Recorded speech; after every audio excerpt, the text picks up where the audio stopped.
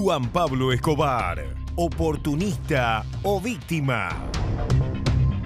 La aparición del hijo de Pablo Escobar Gaviria, que bueno, ahora tiene un nombre porque la autoridad colombiana le cambió la identidad desde Claro. venirse con su madre y con su madre a la Argentina, se llama Sebastián Marroquín Santos, Marroquín Santos.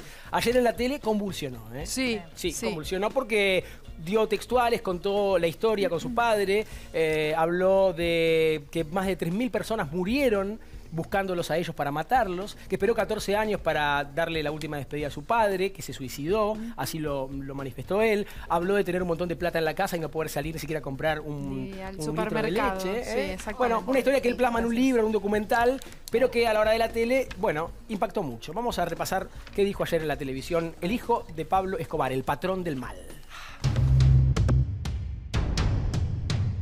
El hijo de Pablo Escobar realizó fuertes declaraciones sobre el narcotraficante más famoso y sangriento de la historia. Y hay mucha gente que cree que todas estas series y novelas sobre mi padre nos generan ingresos a nosotros, en absoluto.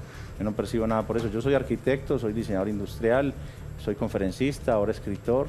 Eh, nos rebuscamos la vida desde ese lugar. La parte suya para el negocio, ¿dónde está? Toque aquí.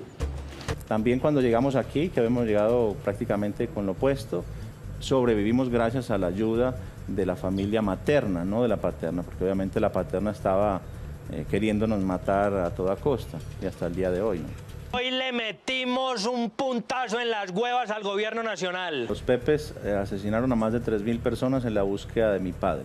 Y están los registros eh, periodísticos de eso, las miles de personas que aparecieron con carteles eh, escritos por los Pepes. Vamos a coger a la esposa de don Ernesto Aramillo y le vamos a meter 500 tiros. Y ahí solucionamos esto. Yo creo que no me equivoco cuando digo que el buen agente de la familia era mi padre. Que de seguir así, difícilmente alguno de ellos se vuelve a morir de viejo en este país. Tuve que esperar 14 años para poder regresar a, a darle el- por primera vez el último adiós a mi padre. ¿no? no quiero que mi hijo, y gran parte de lo que hago es pensando en su futuro, no quiero que mi hijo herede el mismo legado de violencia y de sangre con el que me tocó lidiar a mí. Estoy convencido de que es una vida que no tiene ningún futuro porque no conozco ningún narcotraficante jubilado y el resto están en la cárcel o están muertos. Confrontados pregunta, Juan Pablo Escobar, oportunista o víctima.